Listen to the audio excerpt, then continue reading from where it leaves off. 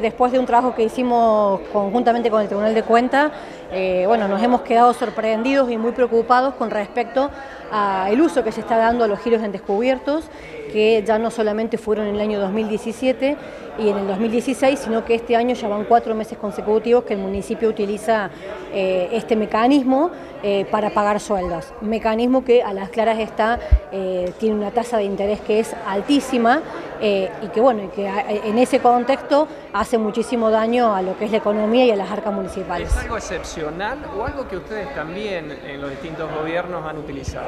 No, el giro en descubierto es una herramienta que nunca se utilizó. Eh, por lo menos en lo, que va en los últimos, el último gobierno, los últimos dos de, de Yure, ni tampoco en el gobierno de Rins, el giro en descubierto fue una herramienta.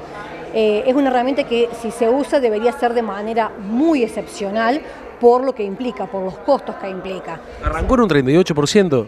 Arrancó un 38% este año y ya está, está pisando los 84%.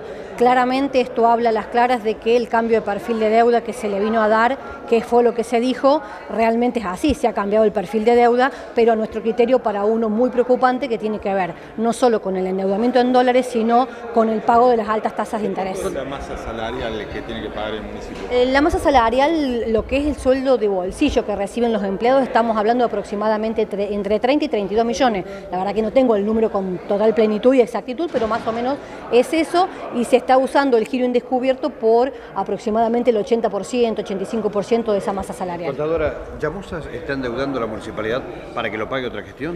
Bueno, en el caso de los giros en descubierto en realidad no, porque son dinero que se utiliza y se devuelve. Lo que sí, lo que sí hace es obviamente complicar y debilitar mucho las finanzas este año. Pero por el otro lado, en lo que tiene que ver con los 60 millones que se votó el otro día, que se va a tomar, más lo que fue la deuda en dólares, sí, claramente este gobierno ha tomado la decisión de que ellos van a estar muy tranquilos con el pago de servicio de la deuda, pero que la próxima gestión pague todo. ¿Estos mecanismos y su utilización son lógicos?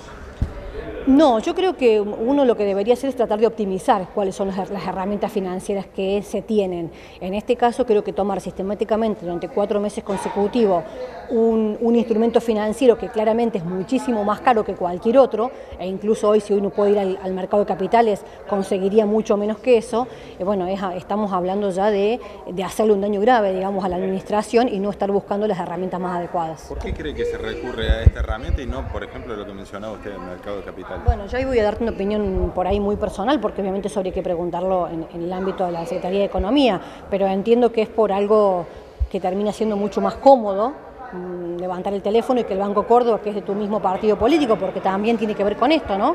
Hay que remarcar que estamos hablando de una institución que responde políticamente a, esta, gestión, te presta el dinero, pero bueno, mucho más lejos de hacerte un favor y, y cobrarte un poco menos, te está cobrando una tasa altísima.